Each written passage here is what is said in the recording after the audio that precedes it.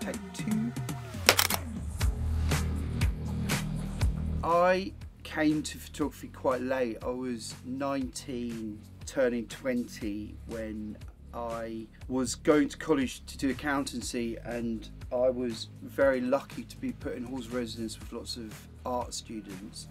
And during my time there, they all questioned my ambition to be an accountant, and that ambition was diluted very much by how much fun they were having and I wasn't, and how many hours they were working in the studio versus the 10 hour days I was doing to be an accountant. And um, that um, initial sort of relationship with those art students in the halls of residence I was in made me rethink my whole future because they were very good at just making me feel confident in having an opinion and why you do something that you obviously don't love. Always been interested in photography, but felt because of my background and upbringing, I had no art or creative um, people in my family, um, or even we didn't even talk about it. So um, although I liked it, I felt it was so far away from what I could do. But these kids at art college made me, these kids that I was in halls of residence with made me feel, they gave me confidence to pick up a camera. And once I picked up that camera, um, I looked through the lens. I, I, can remember it like it was yesterday.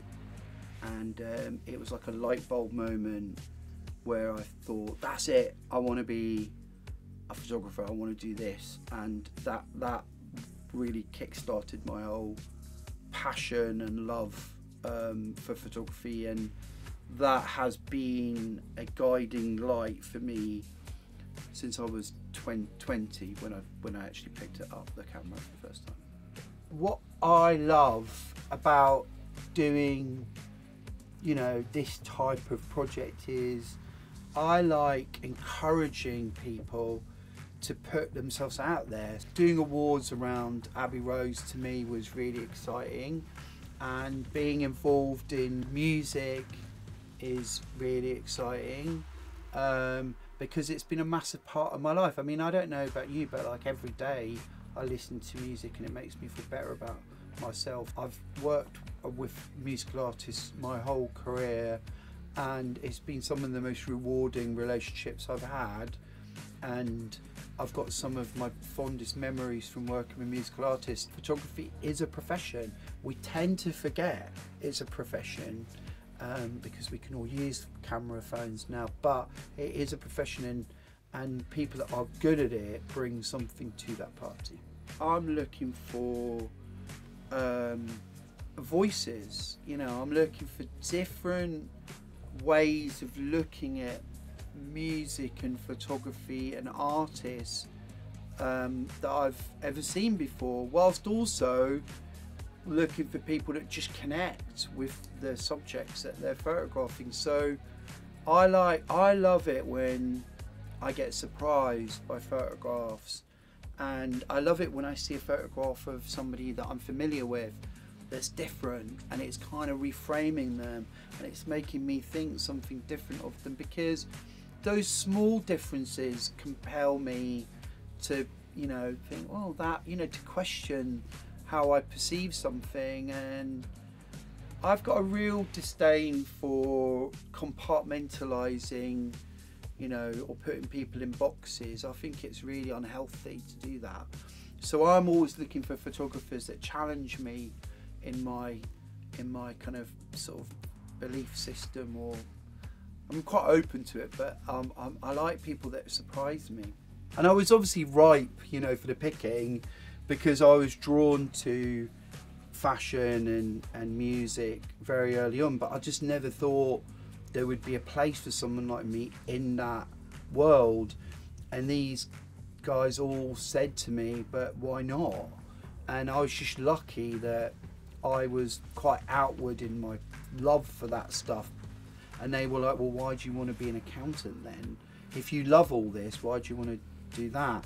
And um, I, I've been lucky a lot in life, and I think there's a kind of great saying, which is you've got to ride your luck, and being talented is a massive part of it, but you've also kind of got to make your luck. So put yourself in in places where you get opportunity, and that's essentially what I'm saying. Is I was lucky because I was in that place of opportunity, and I could have just gone, oh no, you know, I'm not going to be able to be a photographer, but having an open mind to it creates luck i think it creates a situation where you can you can you know i don't know trust an instinct or a feeling or a desire or um, you know a kind of ambition even i truly believe you can make your own luck and it is really about being inquisitive um, taking a risk you know putting yourself out there being vulnerable you know, not